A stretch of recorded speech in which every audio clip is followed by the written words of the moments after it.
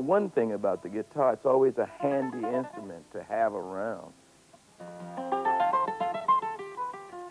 The reason why the guitar works, I think, is because I can make all sorts of crazy noises with it, as well as play uh, really peaceful sounding stuff.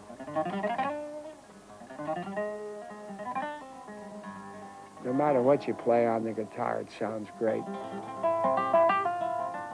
They're just great instruments. So great, the guy that designed the guitar, some caveman somewhere, man, whatever. Great design. You know, stick with a string and something hollow here is great, man. What a great idea.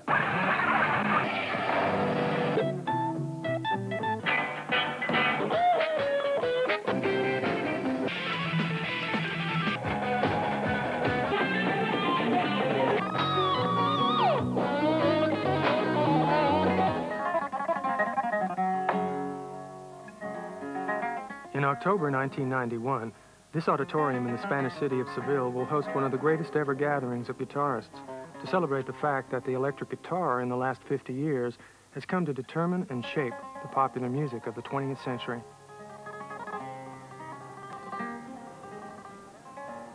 This event is part of Expo 92, a massive celebration of culture and science hosted by Seville.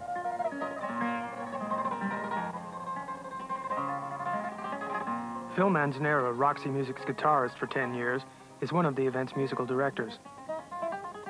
To me, Spain is the spiritual home of the guitar, and the flamenco guitarists were the first guitar heroes.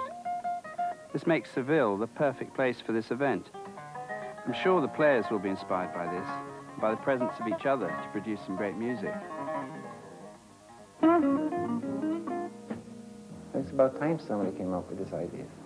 And I'm really excited to look forward to... Uh, everybody's going to be on their toes, you know, because everybody's playing the other's instrument.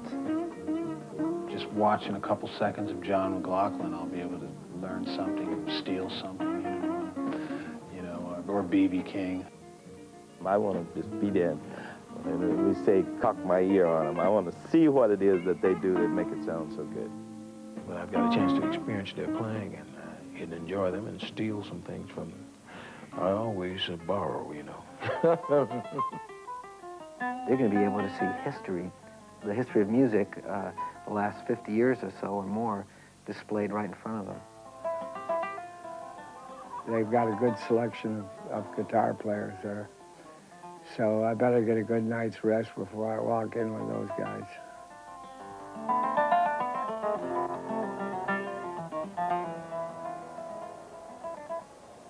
Les, they just won't fit, that's all. Well, why don't we get your mind off of it and let's do How High the Moon?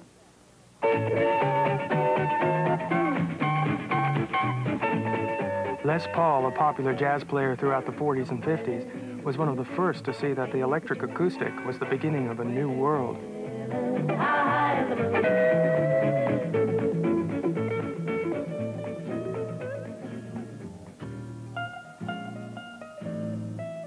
Les, now 76, plays every week in New York's Fat Tuesdays. On an acoustical instrument, one note would resonate much louder than the next note, one would sustain longer than the next one, so it was not consistent. And so uh, the first thing I want to do is get something uh, that was reliable, that you make two of them, make them sound alike.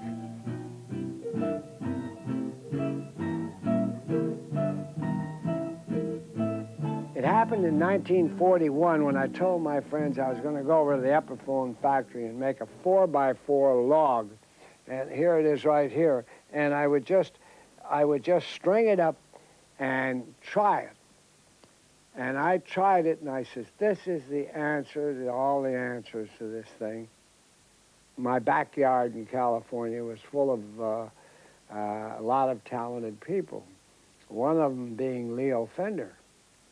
And old Leo was looking at this thing and he says, what are you going to do with that log? And I says, well, I'm trying to convince Gibson. Leo says, you know, I'm thinking of making one of these things. Would you like to go with me on it? And I said, no, no, I'll stick with Gibson. I'll convince him sooner or later. Gibson didn't take solid body guitar very seriously. Late in the 40s, when Fender introduced the Telecaster, which was the first production solid body, after Fender started to sell quite a few, Gibson began to pay closer attention. At that time, they went and found Les Paul again. Les had had a solid body design that Gibson had rejected, saying, we'd never produce anything like that, it's just a plank. At that point, they said, let's go find this man with a broomstick again.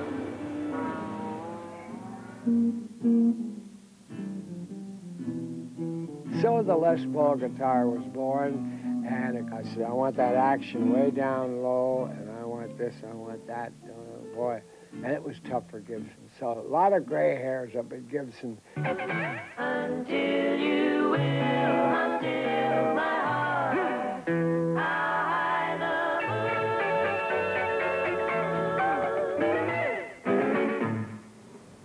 It worked, Les.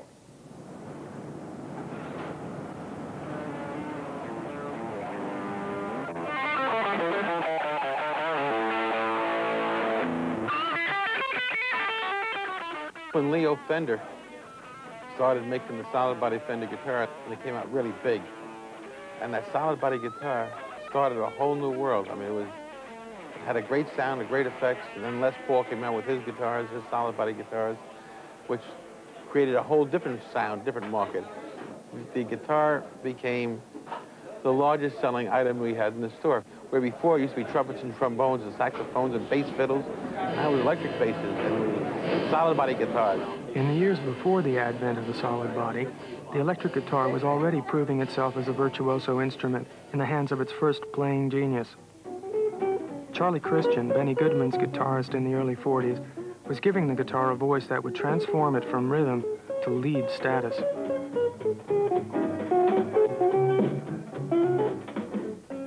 Charlie Christian's success caused really an immeasurable change uh, in that there were people, they heard Charlie Christian, and they say that when they heard them, they lost their minds. And I think they don't mean it, you know, maybe literally, but they became obsessed with that sound. Previously, maybe they liked the guitar, maybe they were playing acoustic guitar, but hearing that electric sound changed their lives, got them to pick up electric guitars or put pickups on their acoustic instruments and start wailing. When I first heard his recordings, I knew he was something special because nobody else was playing like that. But his tone was also excellent. And I noticed that after that, nobody else ever really came up to that sound that he had. I think guitar players are still trying to get the sound that he had. And, and I don't know how he got that sound, to tell you the truth.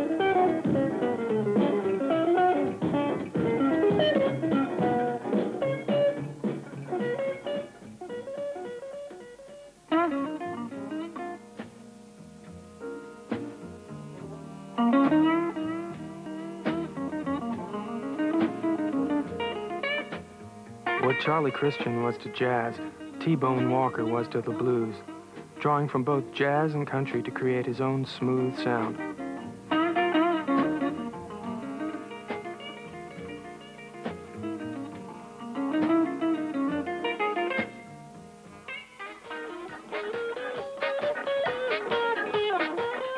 These diverse styles would inspire young players like B.B. King, who would mix it up and add his own earthiness.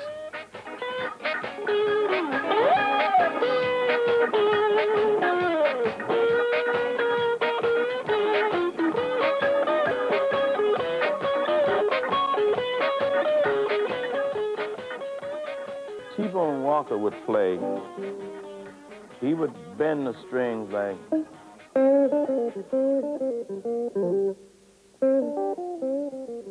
like that. Charlie Christian had a way of playing that we hear it in many people, but he would use uh, diminished chords in a lot of cases playing tunes which would sound similar to this.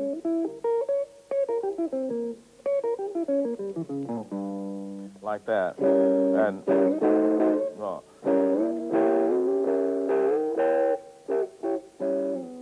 I like, I still can't do it. But that's what he was known for doing. Another one was Django Reinhardt. Now, Django was a French gypsy, they told me, and he would come like, and you'd hear His guitar seemed to sing. And then, like that. When I'm playing now, the B.B. King that everybody knows, I can't hardly help but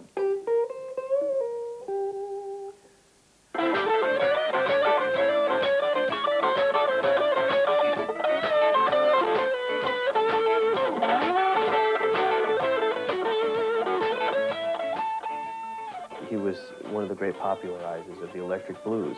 When the rural bluesmen went up to Chicago, and it was following a whole black migration in the States uh, of, of people looking for work in the North after they left the farms,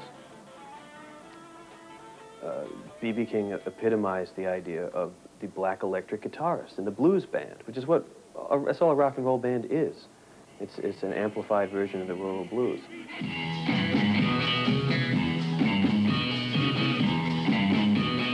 By the mid-50s, these rural blues had evolved into something new and exciting, with the addition of driving rhythms and short, catchy solos. These would provide the soundtrack for a social revolution and the blueprint for a vast new industry.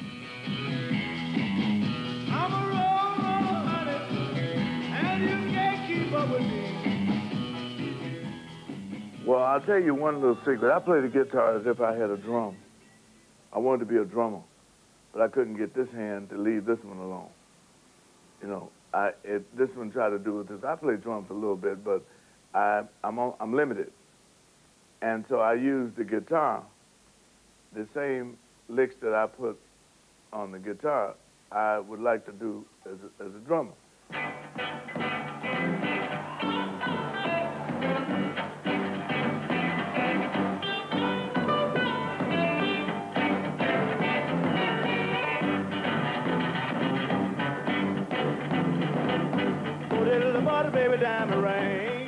I'm the sucker that invented that scratching thing. You know what I'm saying? See, like when you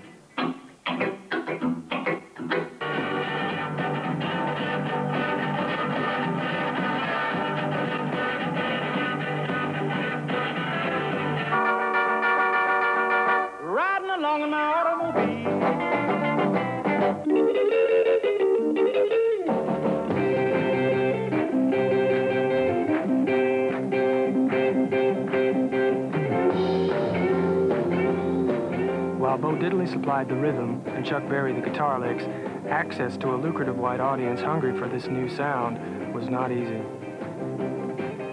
at that time, we had that kind of a mess here in America. You know, okay, can you find a white dude that can do it? Then you don't have to do it as good. Just do some of it and shell this cat back over here. And that's what was happening, you know. group comes into the store. Uh, there's not one famous musician except for Elvis Presley who never walked into the store. We had to deliver stuff to him at the Waldorf once. He needed a bunch of things, but he never, he was, I guess he was very shy.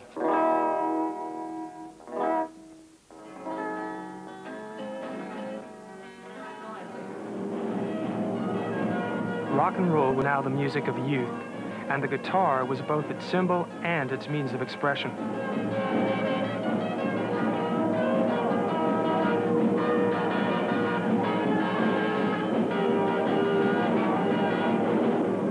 While it was America that set this guitar revolution in motion, it was England at the beginning of the 60s that turned it into a phenomenon. I liked the guitar because, uh, you know, it was just, basically, it was a cool instrument. I mean, everybody in my neighborhood got guitars when the, when the Beatles came out, and so, you know, I followed suit. But then after that, I mean, I found it was a pretty nice way of expressing yourself after I got into the players that I decided to listen to.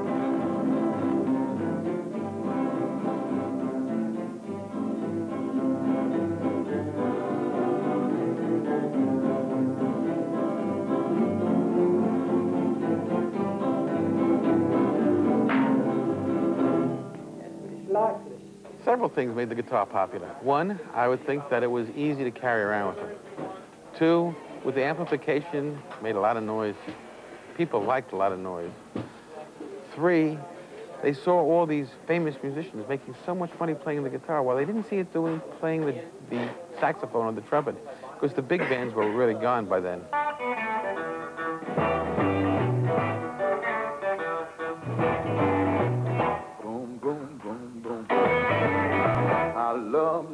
Crook, up and down the floor.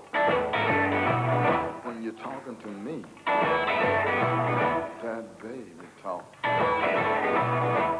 like it like that.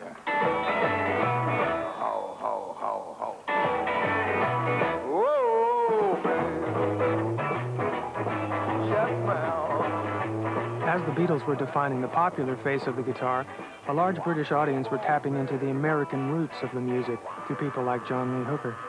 Out of this emerged the British blues. Boom, boom, boom, boom.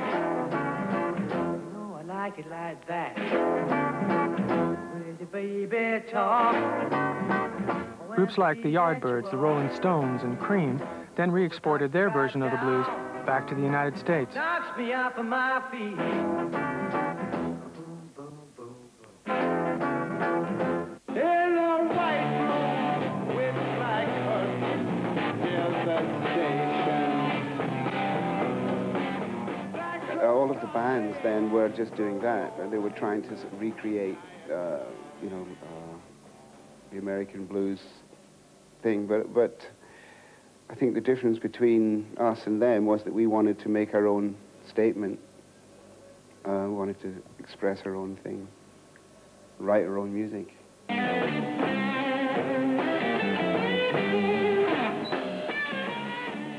Uh, in, fact, it, it worked because then the, the Americans heard that and they were interested in that. And I remember playing with, uh, with Muddy Waters and Otis Spann, and they were playing our versions of, uh, of their tunes.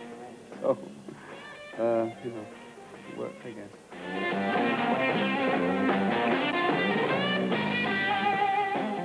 England and the English somehow see the treasures of the United States a little more clearly than the people in the United States do themselves. The bluesmen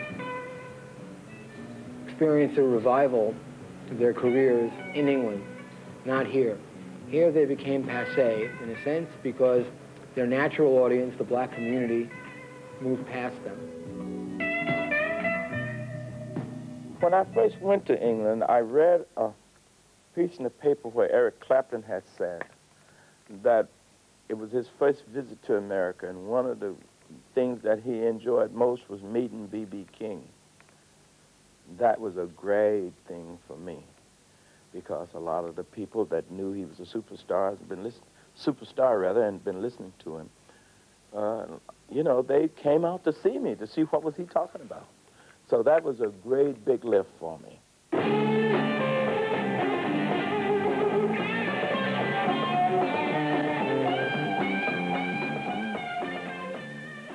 Clapton related to the blues in a way that is mysterious because he was a, a middle-class English kid and yet seems to have been very common. For some reason that we'll find out when we get to heaven, Eric Clapton and Keith Richards and John Mayall and a lot of other young English kids found something in common with this rural black American music from the southern plantations that, that was 20 years out of time when they heard it. This British-driven guitar music meant boom times for Gibson and Fender, who dominated the guitar market for the next decade.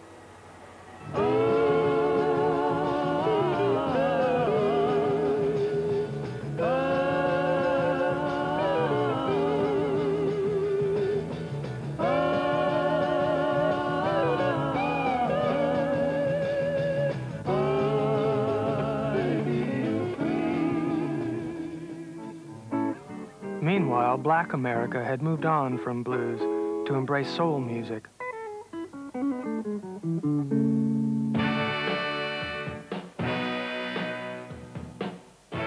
For soul music, the guitar was not an icon, but was an important supplier of color and phrasing.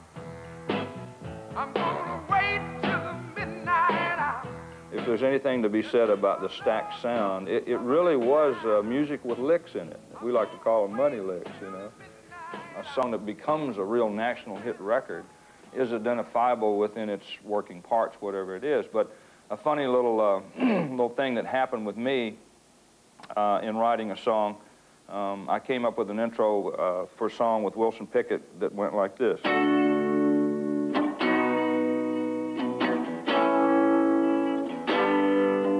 I'm gonna wait.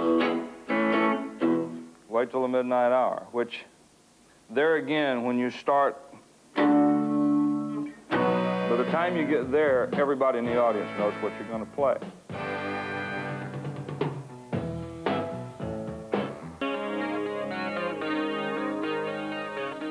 Folk music was the last to hold out to the lure of the electric guitar until Roger McGuinn and the Byrds showed what could be done with a Dylan song and an electric 12 string. I was interested in um, getting an electric 12 string, so I took a pickup and put it in my acoustic 12 string, but it didn't quite have the sound that I was looking for. And around 1965, the Beatles came out, 64, 65, and I was really interested in the, uh, the sound that they were getting. So I went to see George Harrison playing a, a Rickenbacker in A Hard Day's Night, and that's what gave me the idea for the Rickenbacker 12. At the time I heard the Beatles, I was working uh, as a songwriter in the Brill Building, which is a famous uh, Tin Pan Alley in New York City. And my job was to listen to the radio and emulate the songs that I heard. And when the Beatles came out, I was doing that. So uh, naturally, I jumped right into that kind of music and started mixing uh, folk songs that I'd known before with the Beatles beat. Uh, things like, um, well, what later came out is Turn, Turn, Turn. To everything, turn, turn, turn. Here is a season, turn, turn, turn. And a time to every purpose under heaven. Roger McGuinn very much came out of folk music. He was in the Limeliters. He was in some traditional groups. Uh, McGuinn came out of that. What was really important was that unlike a lot of folk music snobs, McGuinn heard the Beatles and said, this is the greatest. I got to start a band too. But he brought a lot of folk music into it with him. Uh, most obviously the 12-string guitar, which has in itself become a whole kind of subgenre. Uh, but McGuinn put things together in a, in a new way. And the fact that then it would work with Bob Dylan's lyrics as a Mr. Tambourine Man suddenly opened up a world of possibilities. I used a lot of my banjo technique on the guitar. Um, I started doing uh, this rolling thing. And that would be the uh, substructure of the song. It would be in the song, like, and then I'd put lead lines over it, you know, like on Eight Miles High, like, which was influenced by John Coltrane's saxophone work that I was very interested in. So I was trying to get the valves opening and closing with the 12 string, you know.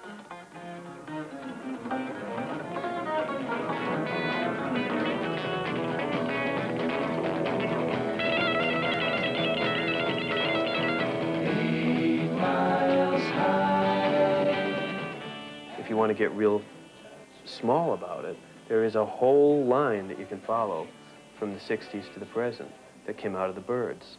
And then, you know, in the bigger sense, the Byrds become one more color that goes in and out of everything else. And a lot of people, you know, Springsteen or Jackson Browne or any number of people will have their one Byrdsy song. But by jazz virtuosos like John Coltrane and Wes Montgomery.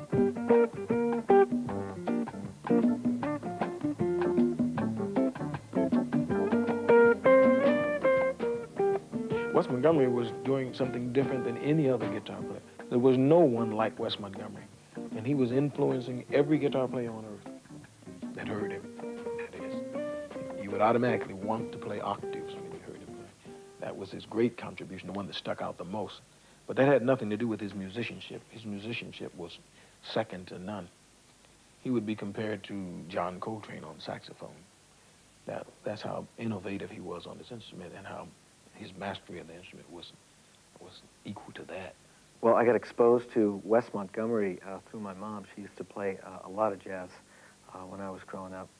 And uh, when I was really getting into guitar, I noticed some of these records being played, you know, and uh, I really latched on to the fact that this, this sound that he had uh, with the octaves, playing the octaves, you know. He used to play sort of like this with his thumb, you know,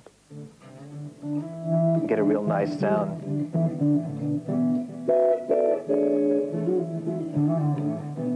Really beautiful sound.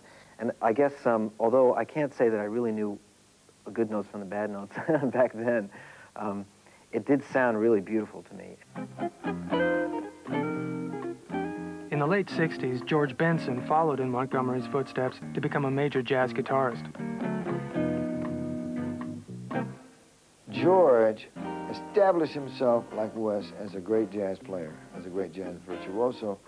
And what he did was, where Wes played octaves, George would put another note in the middle. And I don't know if I can do this, like, well, that's like Wes. And then so George was, uh, put that extra note in there, or, Garner.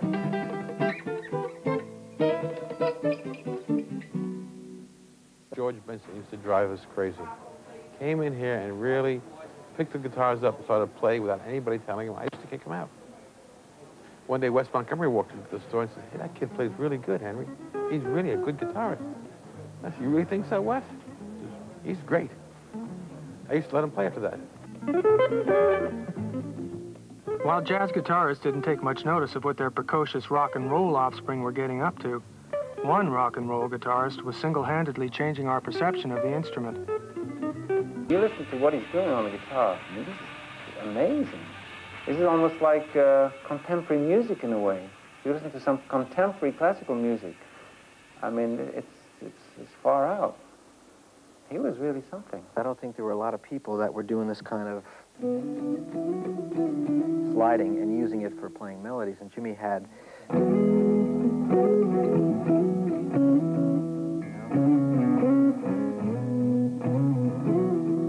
mean, that sounds like Wes Montgomery, doesn't it?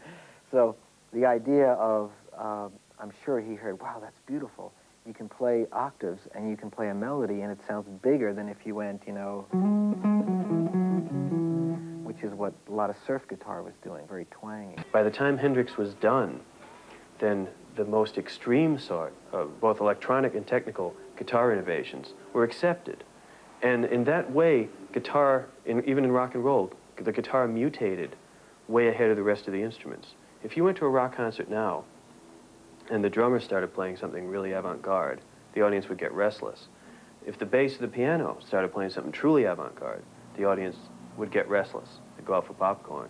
But the guitarist could do the craziest thing in the world, and people are going to stand up and cheer. I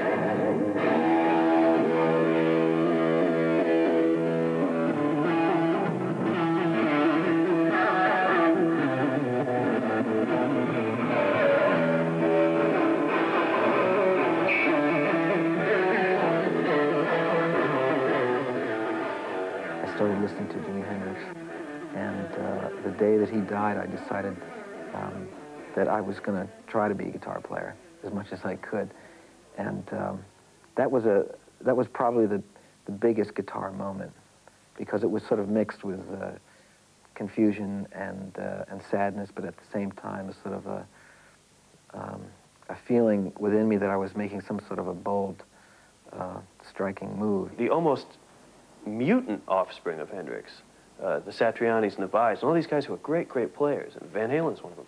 Um, I think I'll owe it to him for allowing the acceleration of that process. Jimi Hendrix was a customer before he went to England. Worked with a group called Curtis Knight. Now, Curtis Knight has been a customer and still comes in here all the time. He brought Hendrix in, said he's a good player. Uh, I opened up a charge account for him. He went to England. I hadn't seen him for eight months, nine months. I figured he was a deadbeat. Came back in, and I guess he had just about hit then. Came, paid his bill. He used to come in, I would say, approximately once a week.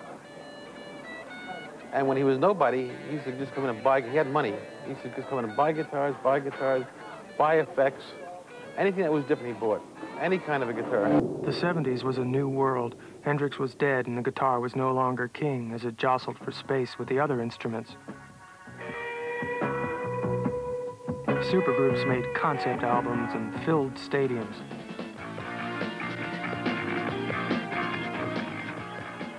New bands played around with the image and iconography of rock and roll.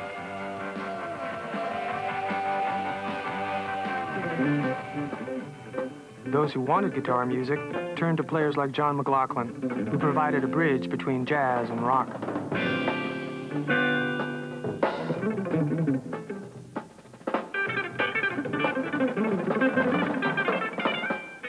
I actually think the 70s was more uh, interesting than the 60s. The 60s was nice because it was the beginning. You saw Jimi Hendrix and you saw these individuals, but in the 70s, uh, there were a lot of individuals that emerged, like players like John McLaughlin, uh, you know, many others that took the guitar to even another point.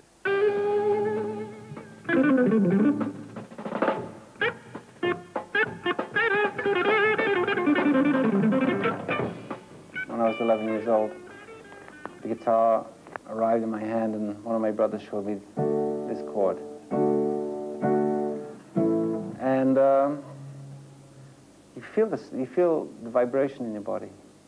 And there's, there's just a feeling to it. I don't know what it is. It's kind of inexplicable. It's, it's sensual, it's aesthetic. I don't know what it is.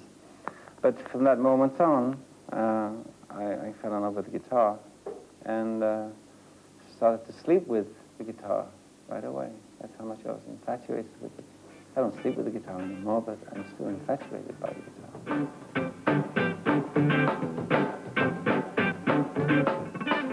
What we were playing was fast. It might have sounded fast, but it really wasn't. It was just it was just a different way of playing, like like John Coltrane when he played the saxophone, he played a barrage of notes, and people called it sheets of sound. It was his kind of little phrase they used to attach to him, and John especially played like that. Coltrane uh, invented this kind of thing with uh, with these flurries of notes, and he would, he would like uh, go through three or four chords uh, with one with one phrase, just like that.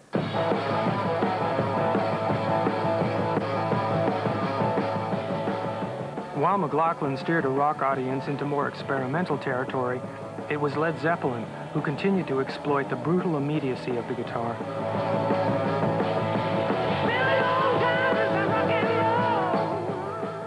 It's really hard to talk about Led Zeppelin because they contained uh, both some of the most cartoony aspects of rock and roll uh, and certainly some of the most influential, as it turns out, for better or worse. They also contained a real sense of power and mystery. And that's one of the things that makes it hard to figure.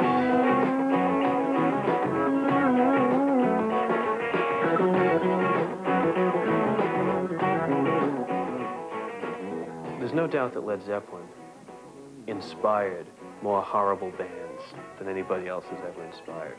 But the music that Led Zeppelin made actually seems to get better as time goes by.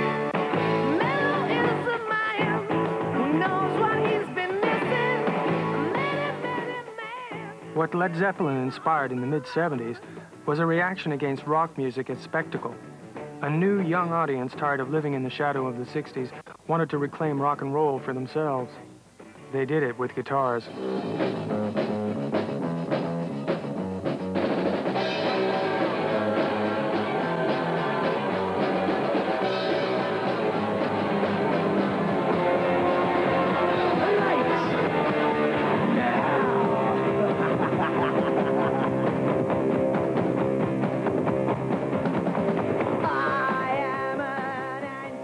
Interesting as kind of a way station and a place where a movement that was going this way toward more and more excess got turned in a totally different direction toward more economy and just never mind learning 749 chords. Can you think of something new to do with those same three that you've been using?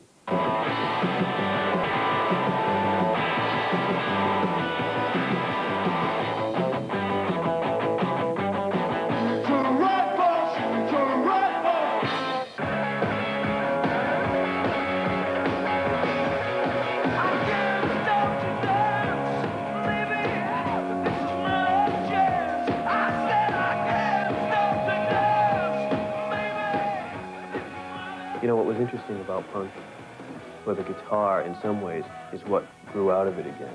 And the fact that the police, or U2, or REM, uh, to varying degrees, grew out of the punk movement. And, and all seem to have the same sense of, well, we're gonna, we gotta do something with the guitar. And we're smart enough and talented enough that we're gonna find something original to do with it. But we can't quite bring ourselves to get up there and play that long extended solo, because that's everything we're, we're against.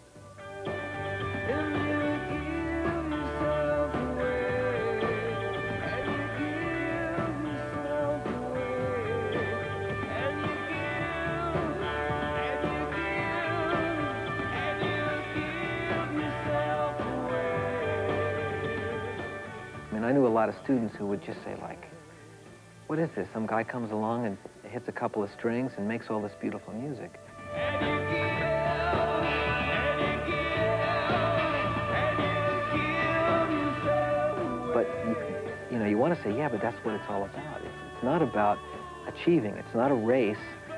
Um, we're not talking about jumping higher or running faster. We're really talking about the quality of the expression.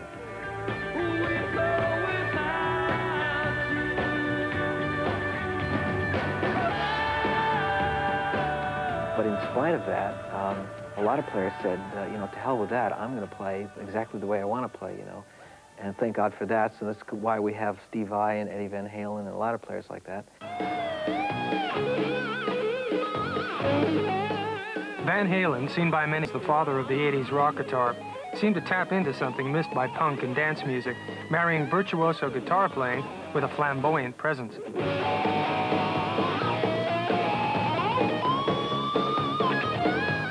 Success sparked off a new wave of guitar bands who took much of their sound and visual identity from Led Zeppelin. The same kids who teenage generation after teenage generation kept discovering Led Zeppelin, since Led Zeppelin wasn't around anymore, kept looking for some local approximation of it.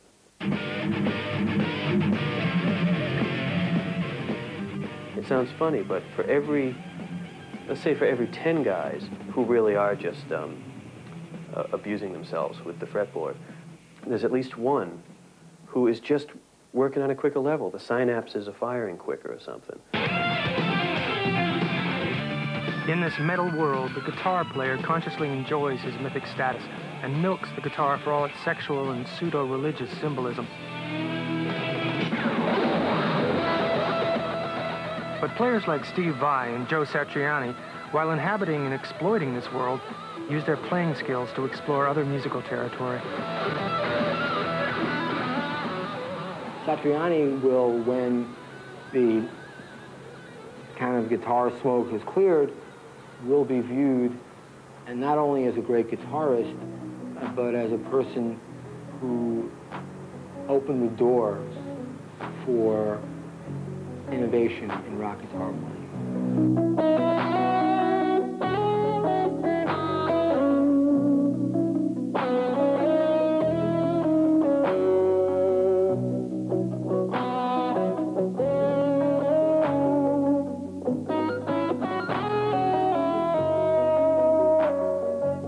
One thing, the importance of the fellas like, like Vai and Satriani uh, is that they sell and popularize a lot of the guitar. Most of the kids, most of the teenage boys who are taking guitar lessons today don't aspire to be B.B. King, and they don't particularly aspire to be The Edge. They aspire to be like Vai and Satriani. Many of these young guitarists head for Los Angeles, the mecca of this new guitar age. And for those wanting to hothouse their way to that elusive record contract, a left off Hollywood Boulevard will bring them to the world's only guitar institute.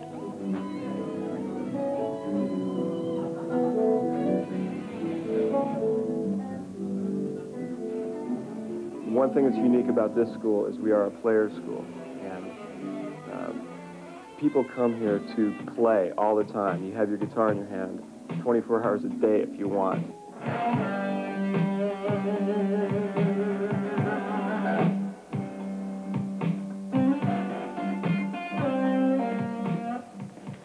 I think that the school is definitely prosperous being in Los Angeles because the industry is here. I mean, everything in the music industry, there is an office in Los Angeles.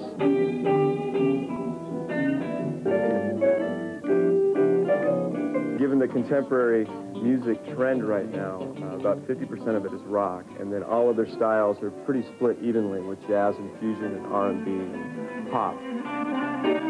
Whatever these students learn about diatonic scales or contractual small print, their dream will be to create a guitar moment that sends a shiver down people's spines.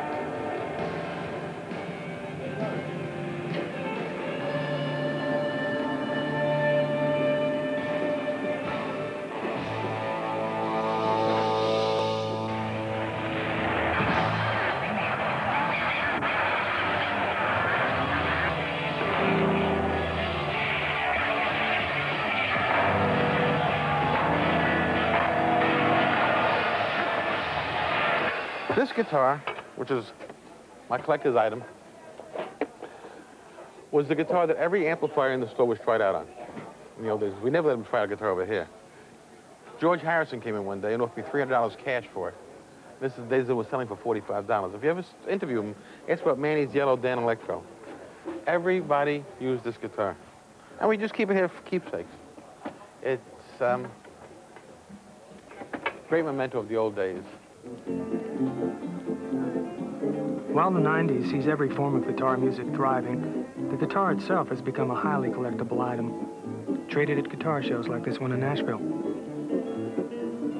This is just a place where people can be passionately interested in the instruments uh, to the point where it's almost like dealing drugs. These things are addictive. Guitars are not something that people really feel lukewarm about uh, to the point where anything of interest. What kind of national you got there? Excuse me, this is too good. Okay. That's one of the most popular guitars ever made by Gibson. It's a 335. They've been making them for 30 years or more, and almost everybody who's anybody has played one from time to time. That's why you should want it. I like guitars. I just can't help myself. That kind of case alone just clues me that that's a tricone national type case that comes with a round neck tricone, which right now we need. Like you asked me, what do I need? That's one of them. Anything that's got a lot of switches, a lot of pearl, a lot of useless nonsense on it, always is worth more than it should be. Because a lot of us are, are really not very mature, we're really not grown up, and we like toys. When Eric Clapton or another great player has a particular guitar, they may even give it a name. You don't hear about anybody naming their synthesizer, or you don't hear much about people naming their horn. They almost seem like the good instruments are alive.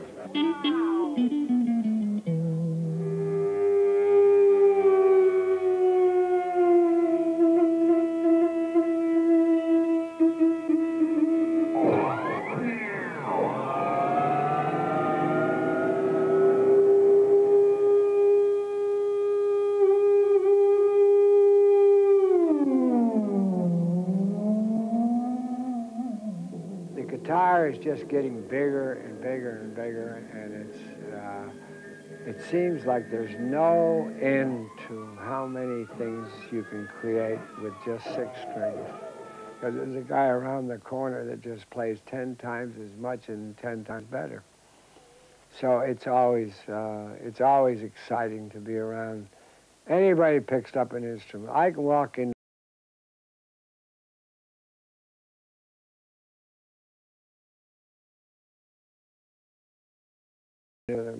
Store and find a kid that high it could scare the hell out of you. So you, you don't know what's out there until you take a walk.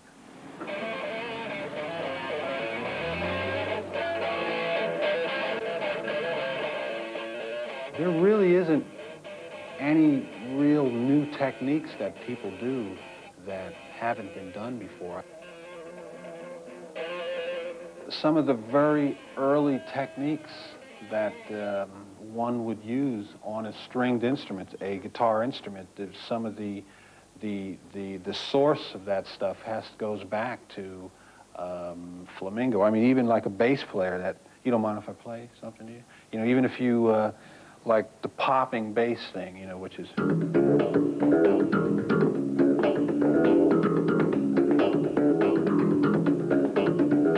Well, if you take that and you, if you want to get really historic about it, you could go back to some Spanish guys that, you know, that were playing like this. You know, they were playing different notes, you know, like, uh,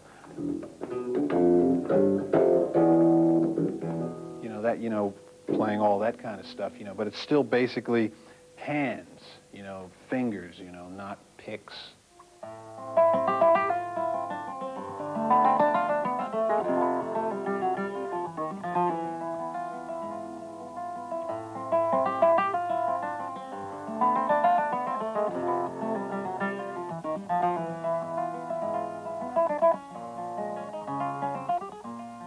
This technique where they have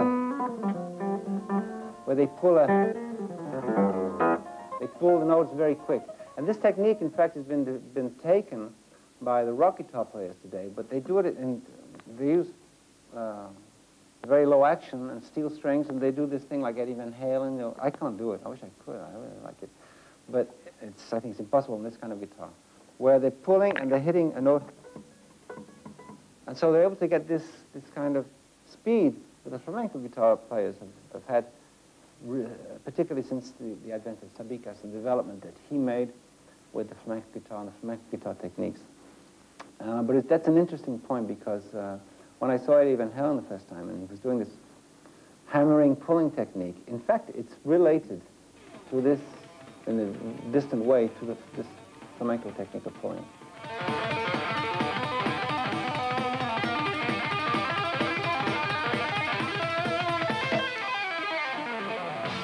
The difference is that Eddie does it with 50 Marshalls. So, you know, the most, you know, a kid with the, with an, you know, who's in, you know, with the, just a mentality of, uh, of a peanut could see that and see that that's happening, you know, whereas with the flamenco, you have to really, when you see the, the great flamenco guitar players, you have to really watch, man. These guys do many things that just go by people. The idea of, of fretting, um, this is on here, um, goes back quite a bit. I don't know the whole history of it, um, but getting all sorts of notes out um, was something that I actually used uh, in a piece called uh, Midnight, which in my mind it was my version of sort of a flamenco thing. I, I wrote a piece of music that um, really came from sort of a Baroque style, and then I thought, well, if I could sort of make it sort of Spanish sounding, but not ever strum it or pick it, you know. So I came up with this thing here. Uh, called Midnight.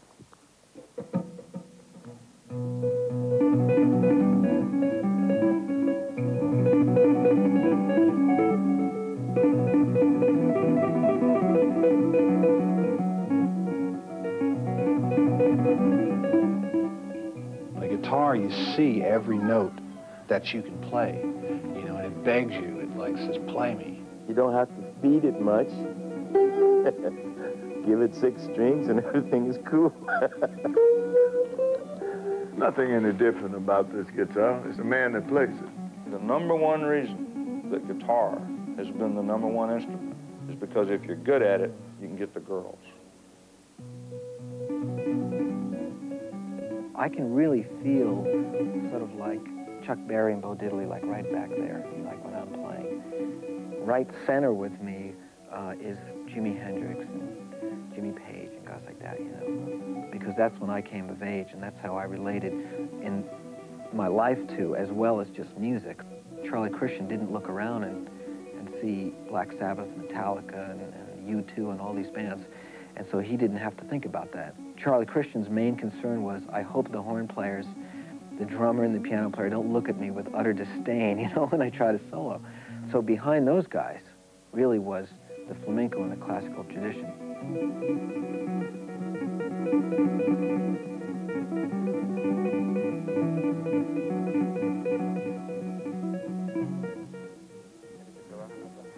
Pero mira, también uh, es cierto que es la primera vez. Esto no lo he cogido yo nunca. No. Nunca, nunca. ¿Y Yo no sé no? tocar esta, esta guitarra, no. Y- Vamos, no sé. Pero una vez tocaste mi guitarra MIDI. en mi- Sí, ¿Esa es la pri- primera vez? La única vez.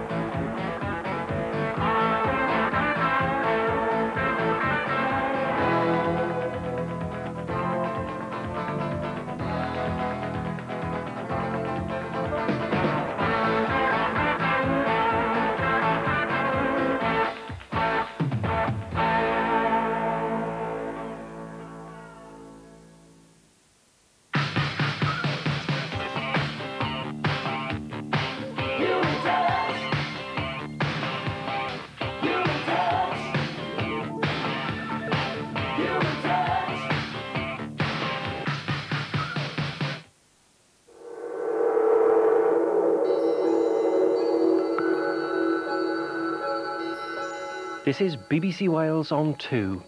Now, as we approach that mellow time of night, let's indulge ourselves in a little blues and soul with some of the great guitarists of our time.